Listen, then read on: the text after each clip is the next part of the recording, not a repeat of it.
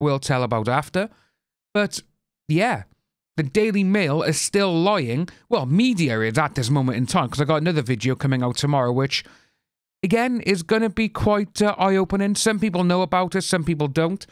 But when this happened, obviously, a couple of hours went by, and you had this one by there where everyone was like, You're doing this wrong. You're lying. This is not what Lori said. So they redacted the tweet, they got rid of it, but they put this uh, out there now. Johnny Depp's first wife, Lori, brands AH horrific in rare interview as she praises kind actor. Yeah, they lied about it, and it's absolutely disgusting. Seeing that the Daily Mail is still doing this, why? You know, they is literally lying about someone, and this is exactly why Johnny Depp took AH to court.